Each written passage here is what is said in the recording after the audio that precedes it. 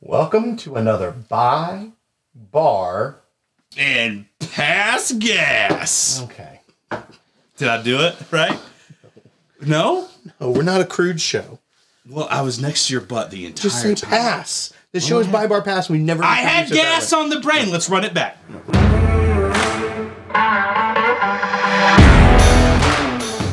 All right, folks, buy bar or pass. It's our rating system. It's really simple. Buy, you should buy the bottle. Bar, try it first. Have it at a bar, see if a friend will let you try it. Or pass, don't waste your time or your money going for this one. So what do we got today, Will? So I was down at the beach and I walked mm. into a liquor store and I mm-hmm. found something on the shelf I'd not seen in person. And we also haven't had a chance to try yet. Mm. Was it a wise decision? We will find out, Grease. It's a brown bag. The Wiseman Bourbon. Yeah, so it's got a very fancy label. It looks like like the Harvard seal up here, maybe. There's an owl. There's the the the three pyramids that may be at Kentucky hmm. Owl Park. Right. It says the Wiseman American Kentucky Straight Bourbon Whiskey, as opposed to non-American Kentucky Straight Bourbon Whiskey, because you know it's America's native spirit. Right. Whatever.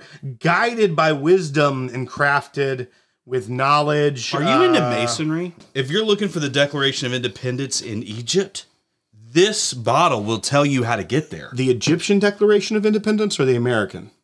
I feel like the fake one is here and the real one is somewhere else. All right, so this says it says indulge in the capital W wisdom and lowercase k knowledge of fine capital B bourbon. Right.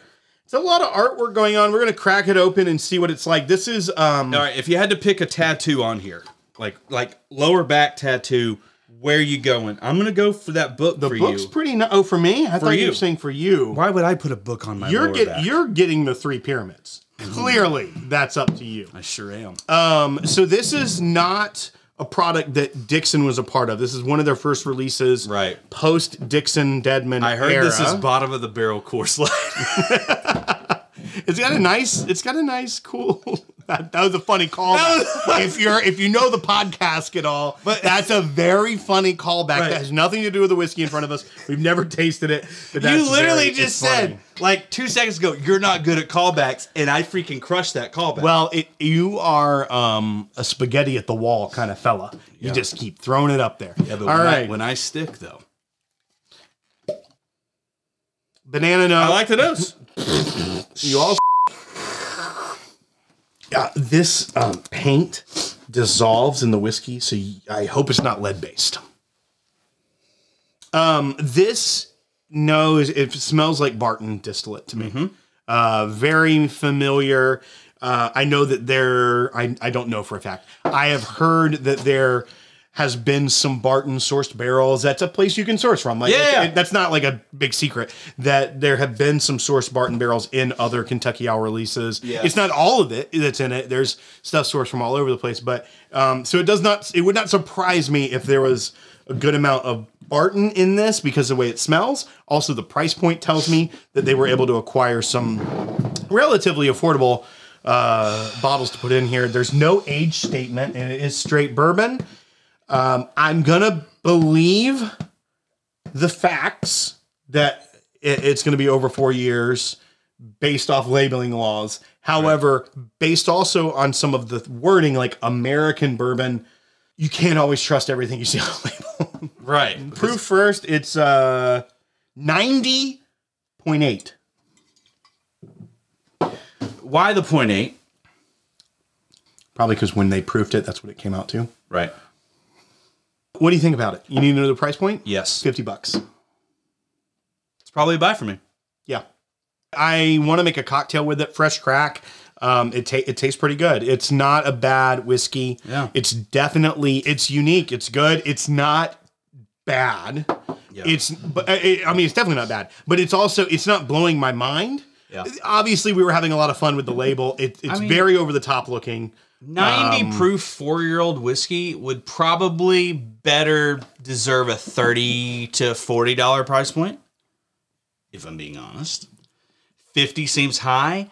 I'm leaning bar, but I'm gonna say a buy. The finish is very short to me. I'm very, I'm very impressed by this. Very, very much a sweet tea note in I- the in the in the body of the whiskey. I I get a lot of sweet tea.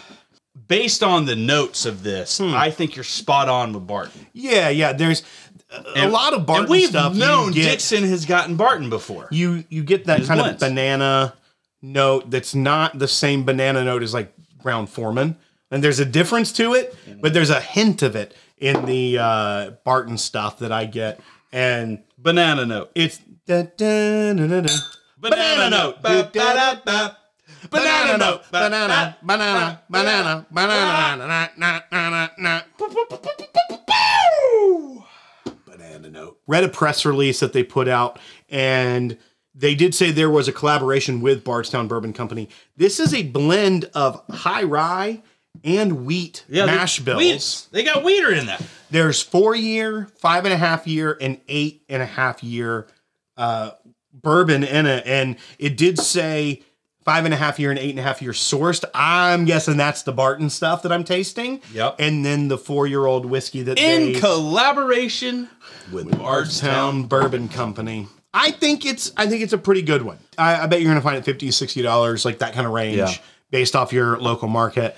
The palate is is good and has some layers to it. The finish for me is is pretty quick, pretty short.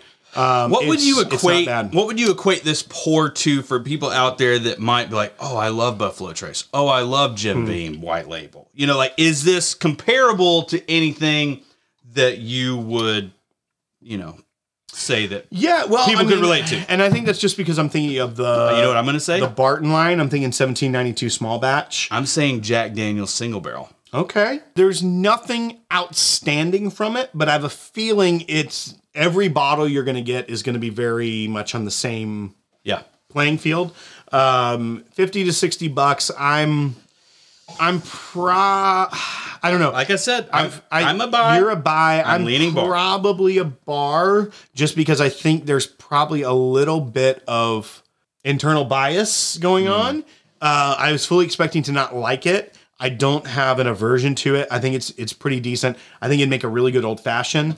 Uh, it's it's not super complex for the six. If it's fifty to sixty dollars, I want a little bit more out of it. But I do think that um, it's not bad, and I think that people will enjoy it. I would prefer if it were 45 bucks. You know, I wish it was a little bit lower. Um, I would say buy then, but I think at, at 50 to 60 bucks, you're probably going to, it's going to probably do well. Yeah. Um, but I would, I'm not going to go full on buy with it. I'm actually excited that Kentucky Owl has a product that everybody could probably afford and get. Sure, sure. I think that that, here's the other question I'm going to have going forward is consistency. Consistency going forward. If they can match this profile in this price point and that, like, then it could probably grow into a buy for me. Or I could see me recommending it to people to try if it gets in more markets. I haven't Yeah. seen it in ours yet, but as of right now, though I have a lot of lingering questions about what this will end up being. That makes me a bar. And You're saying uh, the integrity of this, if you fast forward 10 years from now and the integrity is very similar to this bottle, you think it's going to be successful. I agree. And it takes, I mean, it, you, you gotta, you gotta be consistent. right, right. That's why master distillers are so, you know, I mean, they're, they're, they're great at what they do. Right. It's because it's, it's not necessarily that they decided to throw a weird mash bill in five barrels 20 years ago and it, and it turns out amazing. Mm-hmm. That's not why they're amazing. Right. They're amazing at keeping products consistent and well balanced and, you know, you, you know, and the single barrels having a unique flavor to them because we can try a ton of Eagle Rare barrels and they'll taste very different.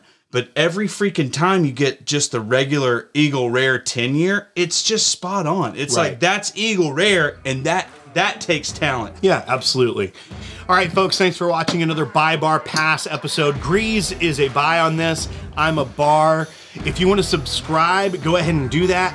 Give us a thumbs up. We'd appreciate it. Support us on Patreon at patreon.com slash the podcask. And that's Don't do it. do it. Don't do it. It's gonna do it. You were gonna do it. I was going to, but You were- it's gonna do it. You were gonna say we don't.